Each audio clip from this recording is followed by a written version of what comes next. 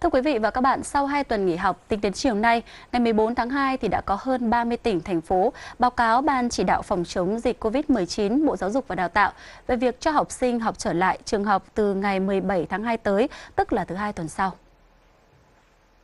Đến thời điểm này đã có 34 tỉnh, thành phố báo cáo về Bộ Giáo dục và Đào tạo cho học sinh đi học trở lại vào ngày 17 tháng 2 gồm Quảng Nam, Gia Lai, Bình Dương, Bắc Giang, Hà Tĩnh, Hà Nam, Sóc Trăng, Tây Ninh, Đắk Nông, Hậu Giang, Bình Phước, Sơn La, Lâm Đồng, Trà Vinh, Đà Nẵng, Cần Thơ, Yên Bái, Quảng Ngãi, Cà Mau, Đồng Nai, Lào Cai, Tuyên Quang, Vĩnh Long, Nam Định, Cao Bằng, Kiên Giang, Bạc Liêu, Hưng Yên, An Giang, Ninh Bình, Hòa Bình, Điện Biên, Đắk Lắk, Thừa Thiên Huế. Riêng tỉnh Vĩnh Phúc tiếp tục quyết định cho học sinh nghỉ học đến ngày 22 tháng 2 năm 2020. Trước đó vào sáng nay 14 tháng 2, tại cuộc họp trực tuyến toàn quốc của Ban chỉ đạo quốc gia phòng chống dịch bệnh viêm phổi cấp do COVID-19 gây ra, Phó Thủ tướng Vũ Đức Đam đã yêu cầu Bộ Giáo dục và Đào tạo khẩn trương có hướng dẫn chi tiết, dễ hiểu để các cấp, nhà trường, giáo viên, học sinh, phụ huynh thực hiện những biện pháp đảm bảo an toàn sức khỏe cho học sinh khi đến lớp.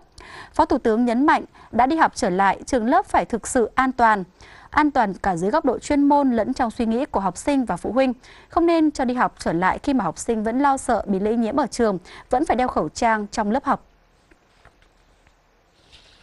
và Chủ tịch Ủy ban nhân dân thành phố Hà Nội Nguyễn Đức Trung thì cũng quyết định tại cuộc họp Ban chỉ đạo phòng chống dịch COVID-19 vào chiều ngày 14 tháng 2, hơn 2 triệu học sinh từ Hà Nội và mầm non cho tới trung học phổ thông thì sẽ được nghỉ thêm một tuần, từ 17 cho đến hết ngày 23 tháng 2 để phòng chống dịch COVID-19. Và đây là lần thứ ba liên tiếp Ủy ban nhân dân Hà Nội cho học sinh nghỉ học một tuần.